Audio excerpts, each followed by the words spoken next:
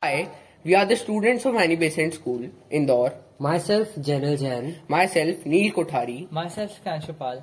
We are going to create revolution in the textile industry with our new product, Clotho'vera.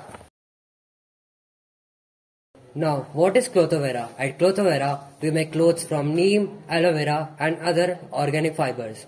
It is a unique and innovative idea that can cater us to the great demanding of eco-friendly and organic products in India. What is the main problem with conventional textile industries? Conventional textile industries is one of the most polluting and wasteful industries in the world. It consumes a lot of water, energy and chemicals and provides tons of textile waste and greenhouse emissions. Moreover, many synthetic fibers are harmful to human health and cause skin allergies, rashes and infections. Solution to the problems is Clotho'vera. Our business will produce clothing from aloe vera, neem and other natural fibers that are biodegradable, renewable and good for human health and the environment. Aloe vera and neem are the materials which are known for their antibacterial, antifungal and moisturizing properties which prevents from the skin infections and is also good and comfortable.